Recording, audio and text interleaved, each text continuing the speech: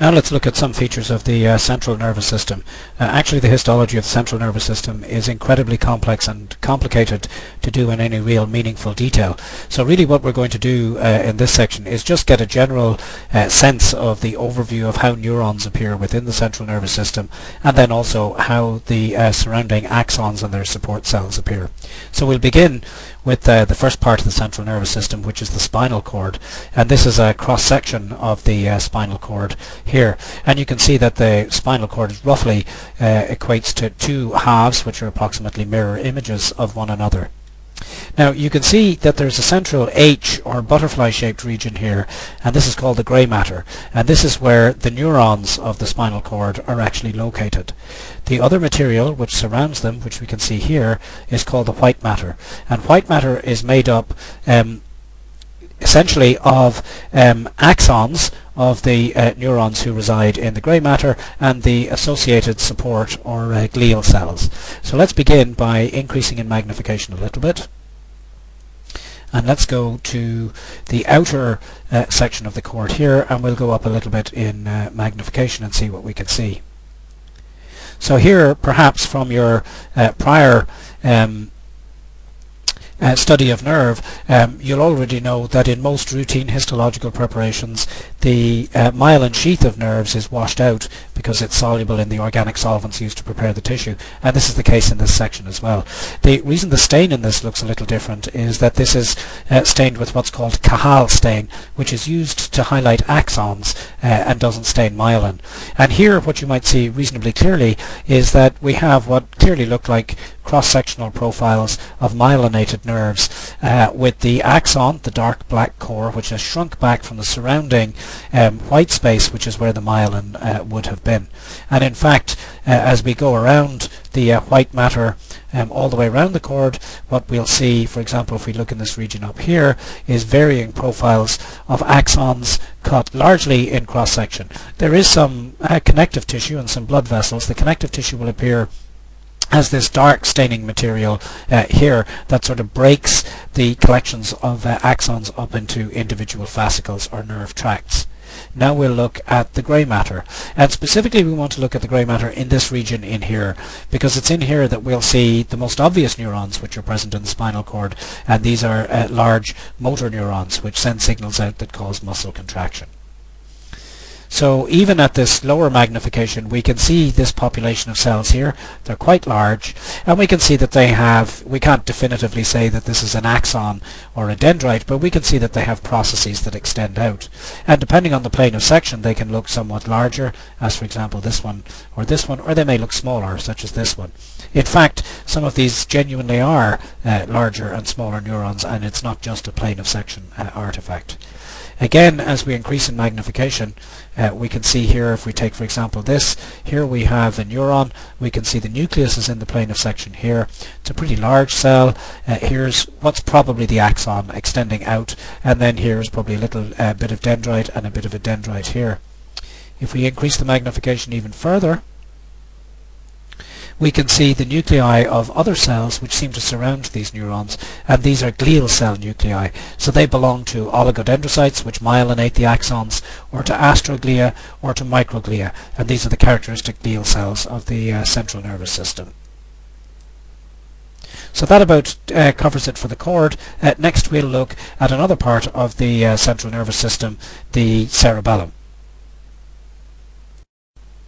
Now we're going to look at a part of the brain uh, called the cerebellum. Um, and I've chosen this part of the brain because the uh, structural organization of the neurons and associated material here is a little bit easier to understand than it is elsewhere, for example in the uh, cerebrum. At this low magnification, the first striking feature you might notice is this tree-like structure which appears to form a trunk and the branches of trees. And in fact this is the white matter that uh, carries the axons that are carrying information to and from the cerebellum surrounding it is the uh, darker staining granular looking material here and then a homogeneous pale staining area that sits outside it. And collectively these two are the grey matter of the cerebellum.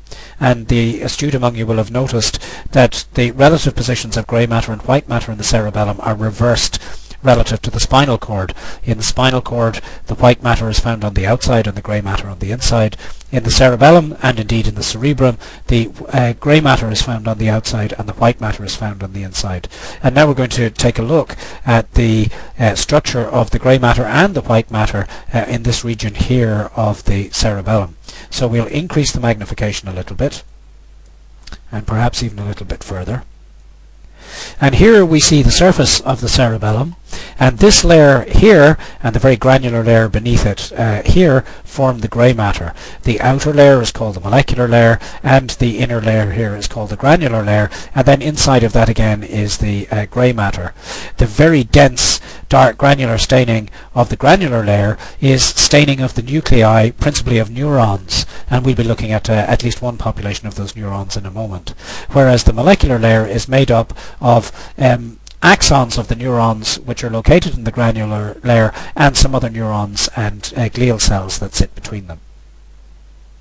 On higher magnification, in fact we'll go all the way up, one thing that you might notice is that there's a particular population of uh, neurons that sit at the boundary or the interface between the molecular layer and the granular layer of the grey matter. And these population of cells were first described by the same person who described Purkinje fibers in the heart, and so these are called Purkinje uh, neurons. Internal to the Purkinje neurons, most of the nuclei which you see in the granular layer are nuclei that belong to very much uh, smaller neurons. It's not important to be able to identify the type. And then interspersed among those also are nuclei of, for example, blood vessels, and then some, uh, some of these nuclei which you can't distinguish are nuclei of glial cells.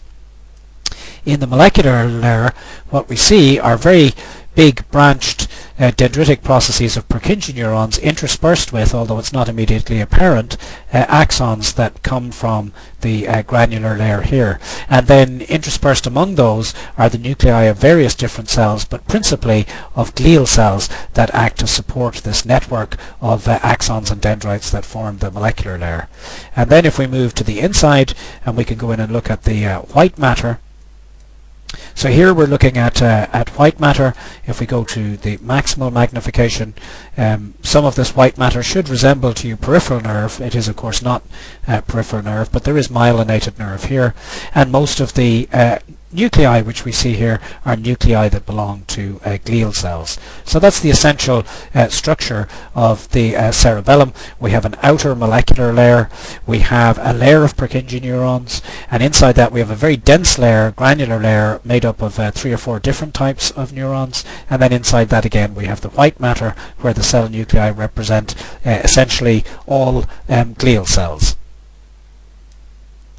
Finally, we're going to look at some uh, neurons in a dorsal root ganglion, or also called a sensory ganglion. And these are small structures that hang out, if you like, from the uh, spinal cord, but in fact, technically they're part of the uh, spinal cord, so they're still part of the uh, central nervous system. And the neurons which are found here are the neurons, uh, the cell bodies of uh, sensory uh, neurons whose axons extend out to the periphery and which carry sensory information from the periphery in toward the uh, central nervous system. There are two sections on this particular uh, slide. We're going to look at this one here and we won't take uh, very long. We're just going to look very briefly at the neurons which are here because they're well seen here and if we go to about the middle level of magnification The neurons are the very large uh, round cells with very distinct nuclei and they're based on the staining we can see here at least two different populations. One set of neurons are located towards the outside of the dorsal root ganglion and these other ones are in the uh, center of the dorsal root ganglion. The reasons they stain differentially really aren't uh, important uh, for our purposes. Um, but let's uh, take a look in perhaps a little more detail at some of these ones in toward the center, the browner staining ones. So we go up in magnification. And again, what we see here are very large, uh, rounded sort of cells with large, um, prominent uh, cell nuclei. We can see many much smaller nuclei surrounding each of these neurons. And these are a population of so-called satellite cells. They're special glial cells which help support the uh, metabolic activities and the uh, transmission activities of these particular uh, neurons. Between the neurons, the material which we see here is a combination of uh, axons, uh, some of which are myelinated and some of which are not. And then clusters of nuclei that we see like these, and these are the nuclei of glial cells. So they're either oligodendrocytes involved in myelinating axons, or they may be uh, microglial cells, or in fact they may be um, astrocytes. Again, we can look at this population of neurons here, very closely related, they're just not quite exactly identical.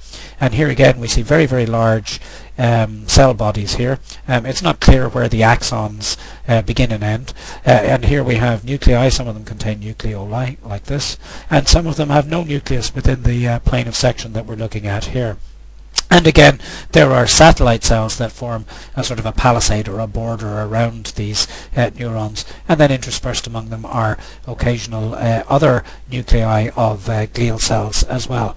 So that covers the uh, overview of the appearance of uh, neurons and axons within the central uh, nervous system one last thing that you might want to do on this slide, if you wish, is to review what the appearance of peripheral nerve would be. And again, remember, uh, this has been stained, especially in this case, it's stained with silver stain to show uh, axons rather than show myelin. And this is what uh, the axons of peripheral nerves in longitudinal section uh, appear like when they're stained with silver. And that should conclude our overview of the nervous system.